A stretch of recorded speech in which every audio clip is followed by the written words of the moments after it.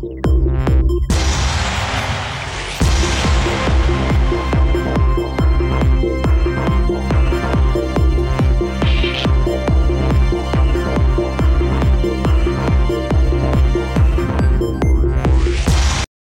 Здравствуйте. В прямом эфире программы «Городские подробности». Я ее ведущий Амир Кедрасов. Сегодня у нас в студии Марина Николаевна Сафонова, депутат Совета городского округа город Кумертау, э, руководитель добровольческого центра «Белая река». Марина Николаевна, здравствуйте. Добрый вечер. Все правильно сказал. Все. О депутатской работе совсем немного, и вот э, в самом начале поговорим и постараемся молодежной политике больше времени уделить э, во время нашего сегодняшнего эфира. Уважаемые телезрители, 226-99 – это телефон нашего эфира. Если у вас будут вопросы по ходу нашей беседы к Марине Николаевне, пожалуйста, звоните, присоединяйтесь к нашему диалогу. Депутатом стали в сентябре, Помню вас здесь в студии на телевизионных дебатах, которые проходили в нашей телекомпании. Вот представление о работе депутата и с чем столкнулись уже, получив голоса избирателей, изменилось? Ну, в частности, да. Потому что, когда ты только баллотируешься, естественно, у тебя ну, такие крылья, тебе хочется сделать очень многое, объять необъятное, да. А когда ты уже непосредственно встречаешься с людьми, с их проблемами, и весь вот проходишь алгоритм, который положено, но здесь уже понимаешь, что многие вопросы, они не входят в твою компетен... компетенцию, да.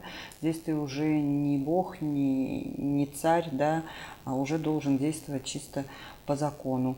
Но, тем не менее, в каких-то вопросах э, даже, может быть, не оценила работу депутатскую тогда, когда баллотировалась, потому что ты имеешь возможность сейчас встречаться с живыми людьми и уже не просто где-то со стороны слышать о, о их проблемах, а непосредственно у тебя есть возможность поговорить с этим человеком.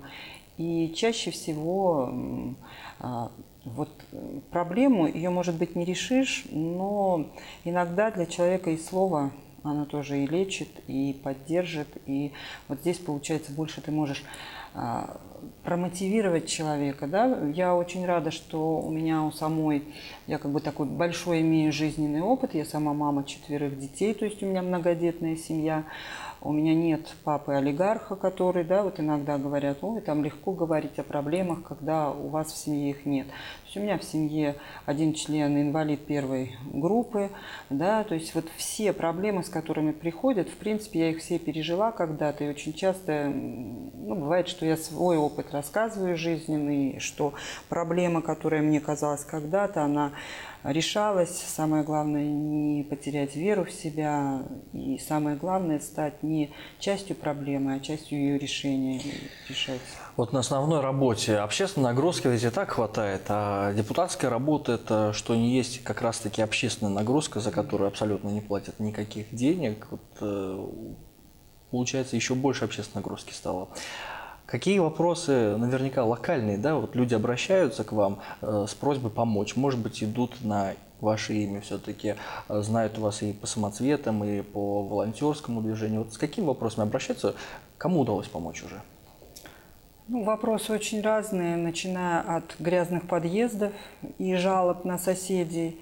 И здесь как раз, ну, ну, такая ситуация, что ты видишь э, выход в том только, что здесь нужно вам решать, вам, жителям этого подъезда и так далее. Ну, люди не всегда с этим соглашаются, им кажется, что ну, это для них очень глобальный вопрос. А, вот.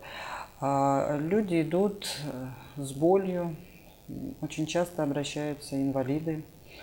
А, ну, я не знаю, удобно ли это говорить, кому удалось помочь, но, может быть, их не так много, а, таких конкретных случаев, да, но, тем не менее, мой, может быть, такой уже самый приятный, такой, может быть, победа наша общая с этой семьей, это семья Тимофеевых, э, просто бабушка обратилась с тем, что ее внук мечтает поехать на кремлевскую елку, а из-за того, что он колясочник, инвалид-колясочник, ну, практически это невозможно, потому что, ну, вот как и что, вот их не берут никуда.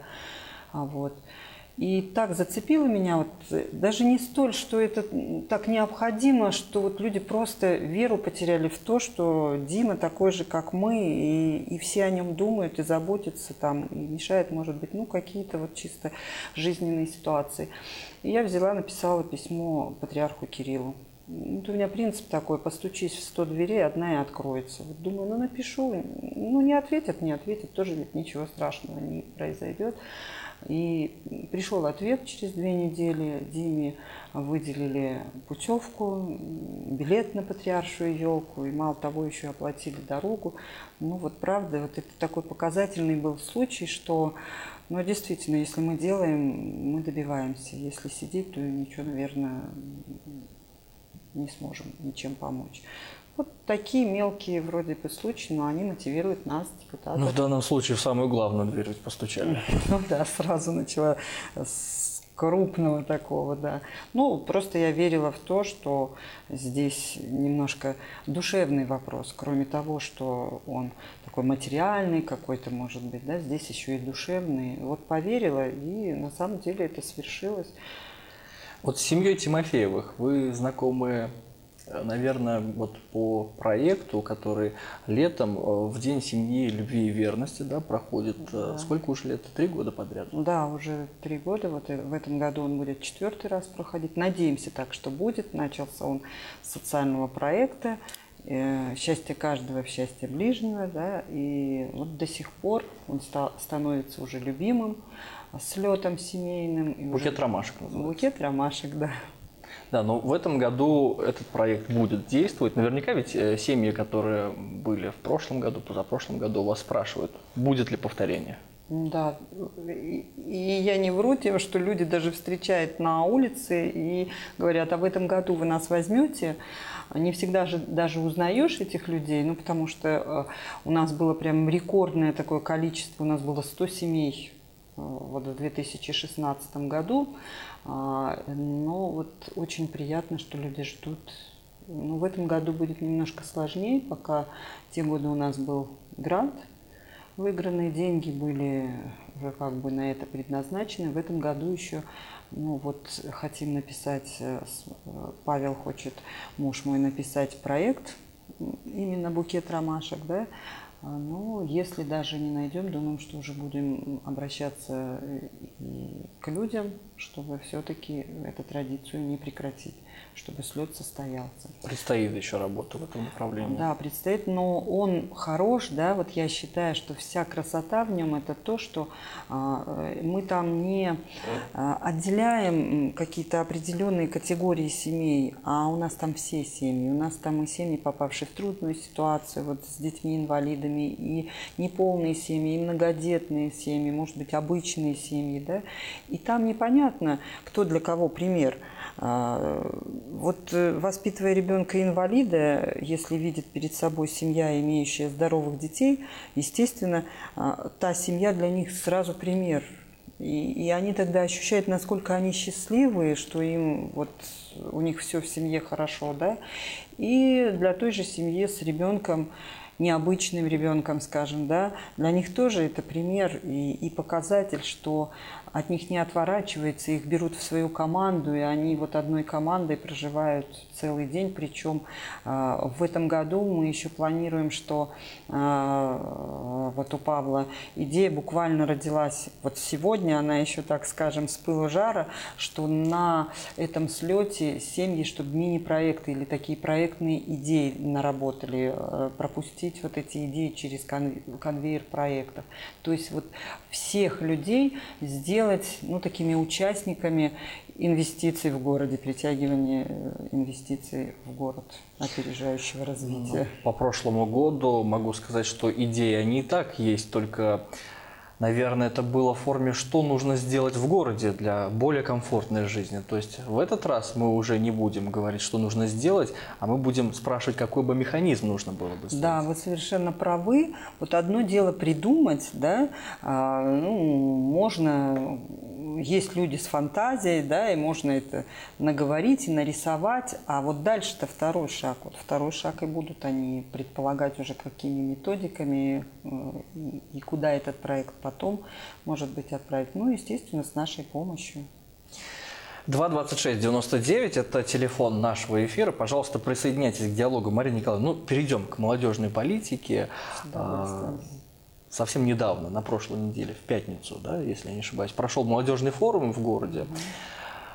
Какова была основная цель? Вот э, форум был городской, и Такие форумы проходят, ну, наверное, ежегодно, а может быть даже и несколько раз в год, мне так кажется, когда молодежь собирается, молодежь э, думает о том, в каком направлении двигать город, какие идеи нужны городу и как вот идеи эти реализовываются. Вот такой вот форсайт, да, э, новомодное слово, которое, может быть, еще и не всем знакомо.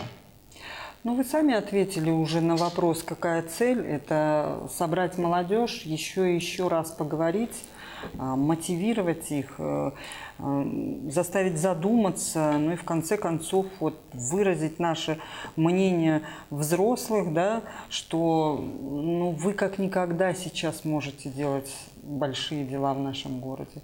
Вот призвать их к этому еще раз, ну, повторяюсь, наверное, ну, вот, чтобы они задумались, чтобы у нас была цель, а, чтобы они вышли а, после форума с площадок, с заключительной части, и у них возник вопрос, а дальше что, а куда пойти, а, а идеи какие и где их можно реализовать. То есть вот запустить некий такой механизм, толчок сделать, этот старт сделать, дальше будем работать. Хорошо. С другой стороны, зайду к этому вопросу. Некоторые ведь наверняка скептически относятся к тому, что ну вот чего они там придумывали и кто это будет воплощать в жизнь. Давайте мы вспомним, может быть, год так 2008-2009, когда только-только такая вот идея в нашем городе появилась, когда начинали мы проектировать будущее. Что тогда молодежь предлагала и достигли ли мы результата того? Вот вы знаете, не зря говорят, что сегодняшние наши мысли – это чертежи завтрашней жизни. Очень интересный пример, он вот у меня всегда возникает, когда нам одна девочка дала проект строительства Ледового дворца. И тогда мы, вот как раз были сте, э, скептиками взрослые, ну, я думаю, ну, девочка и Ледовый дворец, ну, это же так нереалистично, город Кумертау и Ледовый дворец, да, причем вот... И когда было принято решение строить в нашем городе Ледовый дворец, то мы вспомнили проект этой девочки. То есть вот она тогда, она верила в то, что в городе, в нашем небольшом городе он может быть построен и готова была уже тогда эту тему продвигать.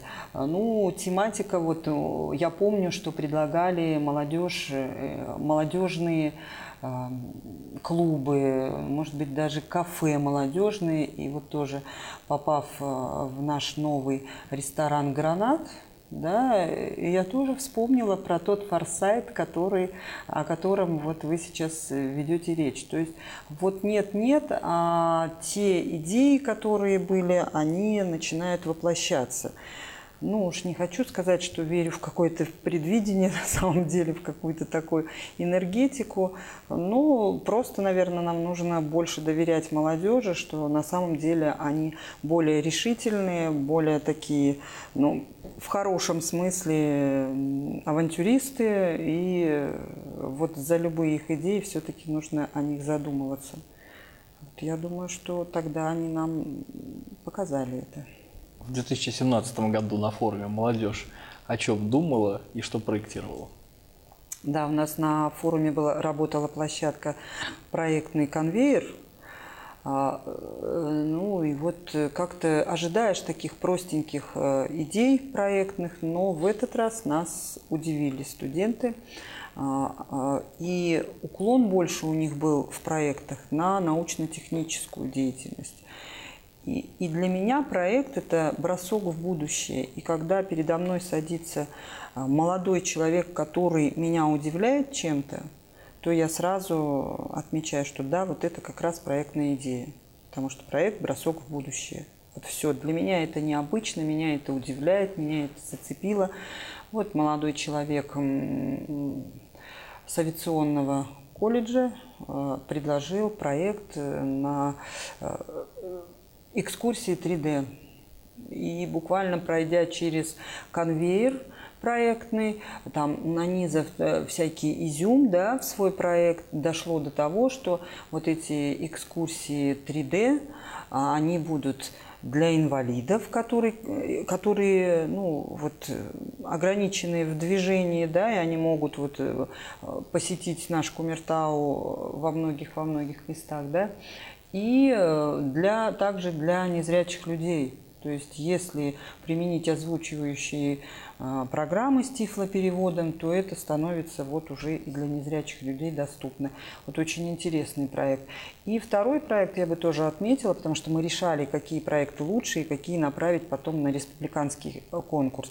И второй проект молодой человек предложил э, сделать в наших кафе, оборудовать кафе столами, э, где бы устройства были беспроводная зарядка для телефонов. Ну, вроде так просто, сначала скучно, начиналось. Но когда дошло до того, что он предложил, что а если еще эти столы будет делать город Кумертау, вы представляете, этого же еще нигде нет. Он, он полный, обсчитал все, сколько будет стоить. Стол, грубо говоря, 30 тысяч стоит то они же ведь могут продавать эти столы, они же вот сейчас станут, ну, практически вот пока еще нет конкурентов, монополистами.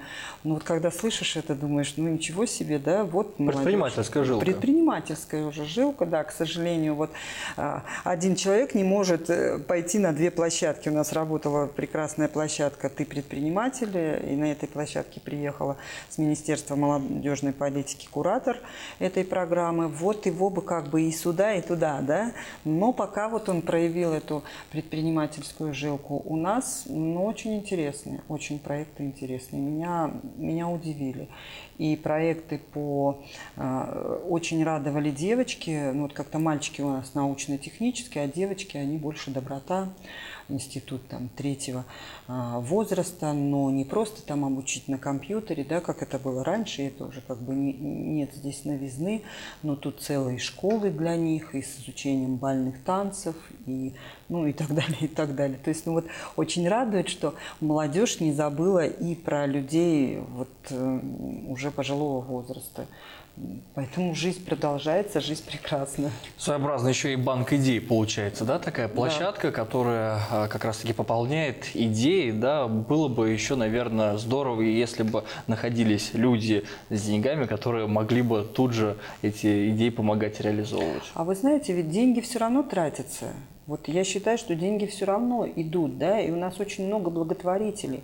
Только другое дело, на что идут, да. И вот если бы мы могли хотя бы раз в год в нашем городе проводить конкурс социальных проектов молодежных, пусть с небольшими грантами, да, понятно, что очень тяжело там 200, 300, 500 тысяч, да, но пусть даже 50 тысяч, но молодые люди бы вот научились, набили руку бы и чувствовали вот эту ответственность, это было бы здорово.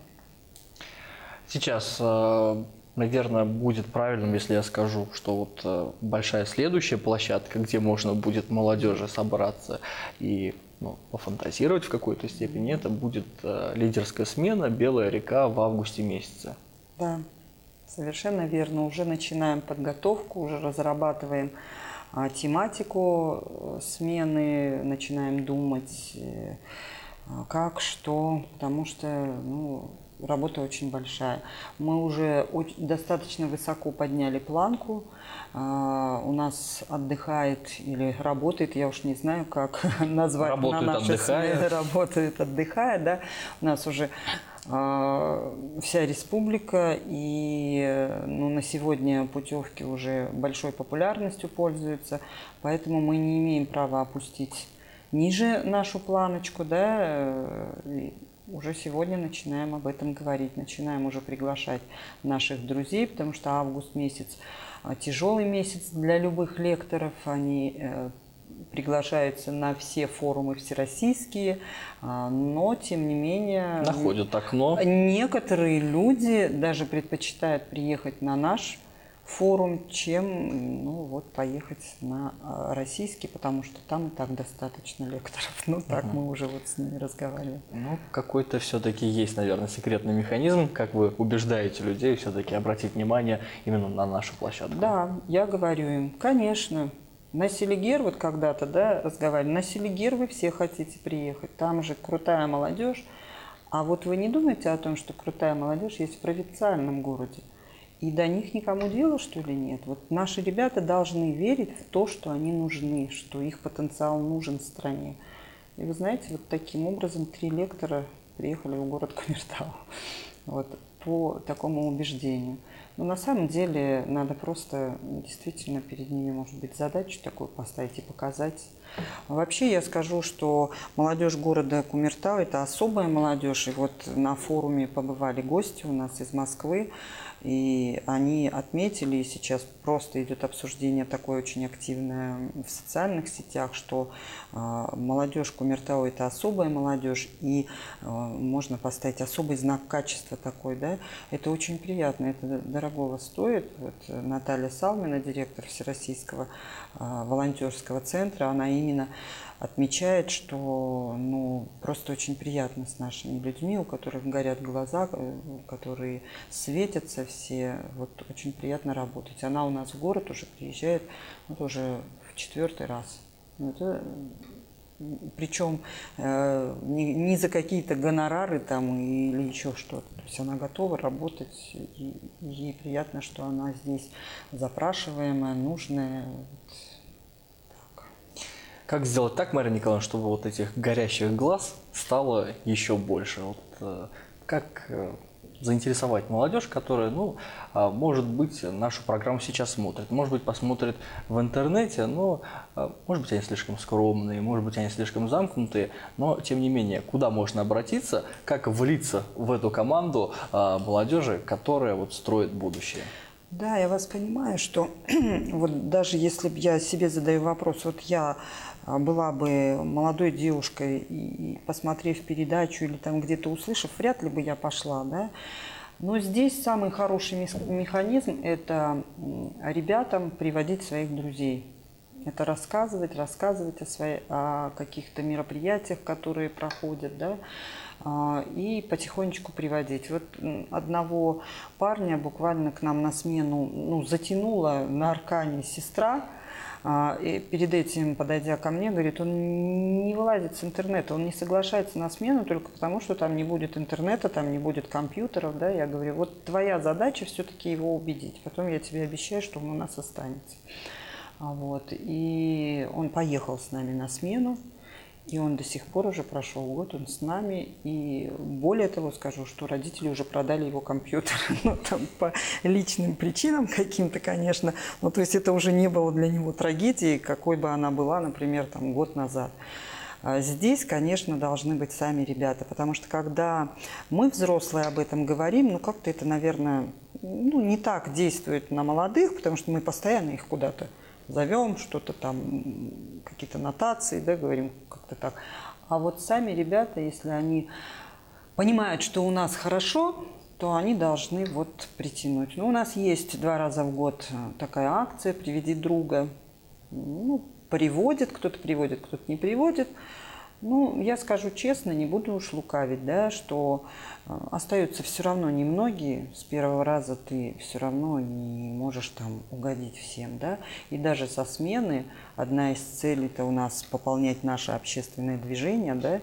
Ну, из смены, если из 50 человек, ну, остается человек 10. Остальные со временем остывают. Ну, кто-то э, выбирает для себя там, танцы, науку, спорт, да, и очень трудно совмещать там может быть, на ключевые дела они приходят, да, но это тоже хорошо. Кстати, вот мы сегодня работаем в волонтерском нашем центре немножко по-другому. Если раньше ну, человек, который вступал в добровольческое движение, он как бы был обязан ходить на все мероприятия, на все акции, то сегодня отношение изменилось, вот, вернее, подход изменился к этому. А, ребята выбирают по душе мероприятие на какую-то акцию, ну, не хочет он идти, ну, не, вот не лежит она у него. Ну, соответственно, он и не пойдет на нее, и ничего страшного, и никто не будет брать у него объяснительную, да, почему ты не был. То есть у нас создается такая некая база, э, э, где указано увлечение человека, и уже непосредственно на то мероприятие, если оно совпадает с его увлечением, то мы уже его позовем. Ну, расширять только нужны направ... нужно направление этого центра, да, может быть, там должно быть и донорская работа, да, более взрослых, может быть, там должна и журналистская как-то работа. Ну, пока вот а, я просто человек, который занимаюсь тем, что я умею делать. Вот пока я не все умею делать, поэтому как-то вот, как по депутатству моему работа с инвалидами, также это работа с инвалидами и в волонтерском центре очень сильно поставлена, да, и ребята уже у нас обученные, они прекрасно и общаться умеют, и помогать инвалидам. Ну вот как-то так. Нужно, чтобы взрослые люди присоединялись еще к нашему волонтерскому центру, к нашему движению. Да, какие пожелания будут телезрителям? Ну, я бы хотела всем телезрителям пожелать быть в гуще событий сегодняшних, потому что на самом деле сегодня интереснейший период у нашего города. А, я считаю, что город Кумертау сегодня самый перспективный город, но самое главное вот найти свое место, чтобы ты был нужным, чтобы ты чувствовал, что ты можешь для города в этот момент, в копилку города тоже что-то вложить. Вот это, наверное, очень значимо будет через даже много-много лет в будущем. Спасибо большое, Марина Николаевна, за то, что нашли время, пришли к нам в студию. Уважаемые телезрители, сегодня у нас в студии была Марина Николаевна Сафонова, депутат Совета городского округа Кумертау, руководитель добровольческого центра «Белая река». Спасибо, что были с нами. До встречи в эфире. thank you